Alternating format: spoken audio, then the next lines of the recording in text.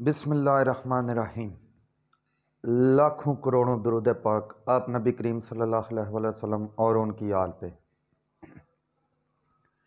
Nadreen, आज हम बात करेंगे अमेरिकी सफ़ीर डोनाल्ड ओम की, नवाज़ शरीफ जहांगीर तरीन और दिगर लोगों से मुलाकात की। फिर हम बात करेंगे पेशावर वर्कर कन्वेंशन में बिलावल भुट्टो के साथ क्या हुआ। और फिर हम आपको बताएँगे कि अल कादर ट्रस्ट की असल मालियत क्या है, असल उसके हक़ क्या है और उस पर प्रापोगंडा क्या किया जा रहा है। नाजरीन, शुरू करते हैं। बिलावल भुटो जरदारी ने कहा, सोचा कि सिंध तो हमारा है ही है, अब और भी दौरे किए जाएँ। तो कल करदू में थे। आज वो पेशावर वर्कर कन्वेंशन में गए तो उधर उनका इस्तकबाल इस्तीफ़ों के साथ हुआ। उनके दरीना साथी आसमा अरबाब जहांगीर और अरबाज जहांगीर उन्हें छोड़ गए, इस्तीफ़ा दे दिया। वर्कर कन्वेंशन में नौजवानों ने भी उन्हें काफ़ी तनकीद का निशाना बनाया। इस वजह से बिलावल भुट्टो जरदारी काफ़ी परेशानी और गामो गुस्से की हालत में हैं। नादरीन, बिलावल भुट्टो जरदारी हो या कोई भी सियासी लीडर हो, अगर तो वो सिर्फ़ इलेक्शन के टाइम आपको हर फातह खानी पे, हर खुशी गमी पे नज़र आए तो आपका हकीकी हमदर्द नहीं है। जो आपको सियासी लीडर बगैर किसी लालच और मफाद के भी याद रखे और आपसे मिलता जुलता रहे, वो ही आपका हकीकी लीडर है। फिर नाजरीन, आज का दिन जो है वो काफ़ी अहम गिना जा रहा है। अमेरिकन सफ़ीर डोनाल्ड ओम की नवाज़ शरीफ के साथ मुलाकात हुई है, जहांगीर तरीन के साथ मुलाकात हुई है और फिर गुज्त रोज़ उसकी मुलाकात, यूसफ रज़ा गिलानी से हुई है। पहले तो मैं आपको अमेरिकन सफ़ीर डोनाल्ड लूम का थोड़ा सा तारफ़ बता दूँ। ये वही अमेरिकन सफ़ीर है जिसके बारे में कहा गया था कि ये साइफ़र भेजने वाला बंदा है। उसके बाद ये वही सफ़ीर है जिसकी मरीम नवाज़ के साथ मुलाकात के बाद नवाज़ शरीफ के बाकायदा पाकिस्तान आने की अनाउंसमेंट हुई थी। नादरीन, दूसरे मुल्कों के सफ़ीर क्या कभी चाइना के सफ़ीर ने पाकिस्तान के सियासी लोगों के साथ मुलाकातें की हैं?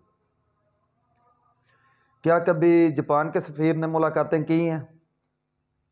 क्या मकसद है डोनाल्ड ओम का कि सियासी लोगों के साथ मुलाकातें करें?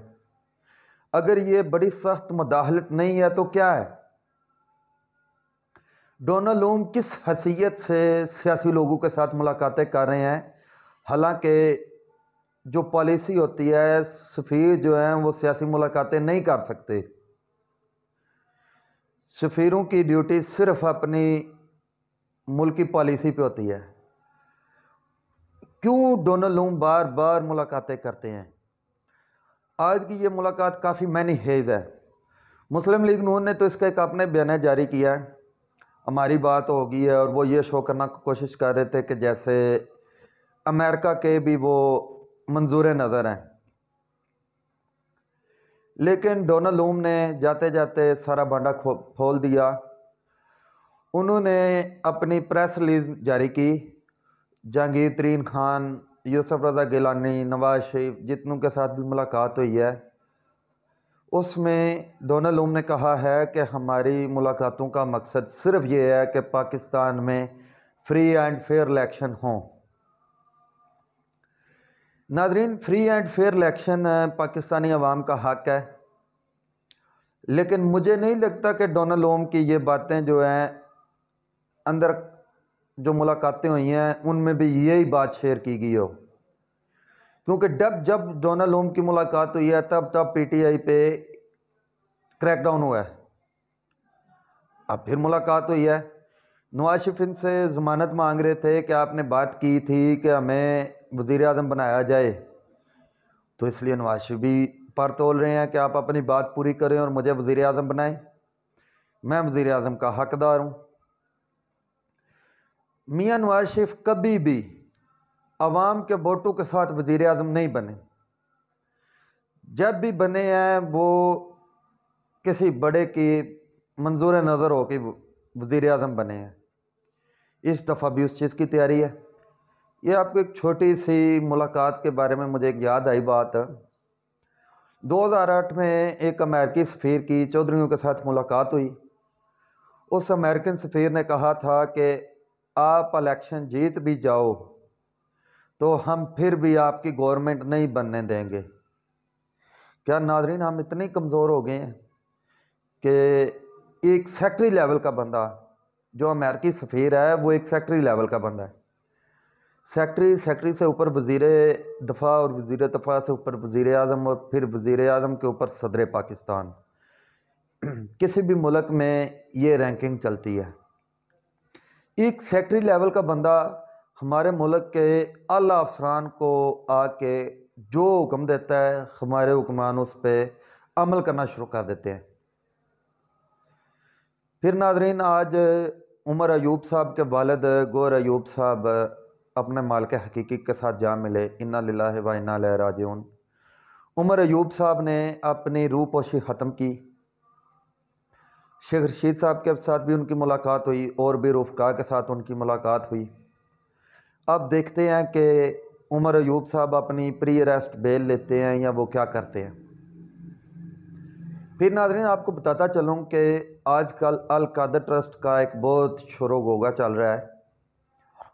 अल कादर अगर आप उसे ज़मीनी हकायक से देखें तो जेलम की से थोड़ा सा आगे, पहाड़ी इलाके में एक ट्रस्ट है, जिसके डॉक्यूमेंटेशन भी सामने आ गई है। अल कादर ट्रस्ट की असल मालियत जो है, वो है सिक्सटी सेवन करोड़, सतासठ करोड़। जिसकी ज़मीन बैरिया फाउंडेशन की तरफ़ से दी गई और उस पर ख़र्चा खराजात बैरिया फाउंडेशन की तरफ़ से गए। इसमें इमरान खान और बुशरा बीबी जो हैं, वो ट्रस्टी हैं। और जो पेपर सामने आए हैं, उसमें अल कादर की ज़मीन और जो उस पर बिल्डिंग बनी हुई है, वो सैंतालीस करोड़ की है। एक चीज़ की कुल असासे जो हैं, वो सतासठ करोड़ हैं तो उसमें अरबों रुपए की करप्शन कैसे होगी? सोचने वाली बात है, थोड़ा नहीं, ज़रा ज़्यादा सोचें। Al Qadir case, cipher case Toshakhana case 200 से ऊपर केस है इमरान खान के ऊपर। क्या आप उसे तोड़ सकें? वो नहीं टूटेगा आपसे। नादरीन इधर रुक के बात करना चाहता हूँ डोनालूम की मुलाकात के बारे में। डोनाल्ड लूम की मुलाकात के बाद मुलाकातों के बाद पीटीआई ने बड़ा सख्त किस्म का अलामिया जारी किया है। पीटीआई ने इस अलामिया में कहा है कि डोनाल्ड लूम को अपनी हद में रहना चाहिए। डोनाल्ड लूम किस हैसियत से पाकिस्तानी सियासी लोगों से मिल रहे हैं और एक अच्छी हँसी शटअप कॉल दी गई है। तो उसके बाद फिर अमेरिकन सफारत खाने का बयानिया आया। नाजरीन, देखते रहिए आप हमारे channel Syed Hasan Raza official YouTube को। आप हमारे चैनल को लाइक कर दें, सब्सक्राइब कर दें और बेल आइकन के बटन को दबा दें। शुक्रिया।